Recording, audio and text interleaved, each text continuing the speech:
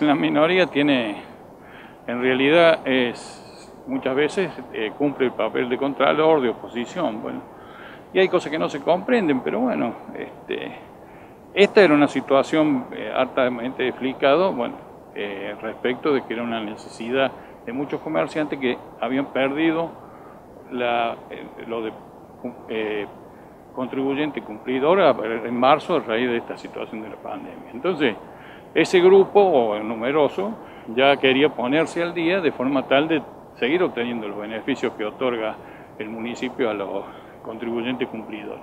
Ese era un grupo, bueno, tampoco lo podés hacer nada más que para esos comerciantes, o para esa gente, o para esos contribuyentes. Entonces se amplió a otros que por distintas causas estaban atrasados con los pagos. Entonces no, no fue una moratoria como propiamente dicha, sino, bueno, una reestructuración de la deuda. Y se daban los planes que cada quien pudiera acogerse. El de las 36 cuotas en realidad no tiene argumento para tener contra al respecto, porque el objetivo era que vos haces de 36 cuotas una deuda de una cuota mínima de 300 pesos, te permite pagar la deuda vieja y a su vez la, el cédulo nuevo. O sea que el objetivo es llevar, equilibrar, llevar las dos, la que debías y la nueva, y te vas, vas resolviendo el tema de la deuda municipal.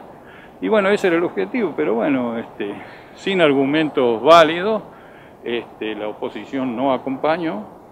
Bueno, es parte de la, de la democracia, de la oferta y la demanda. Hay veces que hay cosas que son este, razonables, que no acompañan y otras no.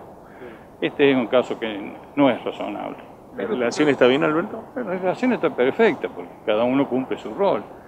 Eh, sería mejor como en otros tiempos, el Consejo era más este, fluido y bueno, se, se pautaban las cosas, las contras y los... Pero estamos en una situación especial de pandemia que no nos podemos juntar, no podemos relacionarnos y bueno, muchas veces a través de, estos medios de comunicación, de, medios de online o por internet, no es tan fácil a veces este, ponerse de acuerdo en todo.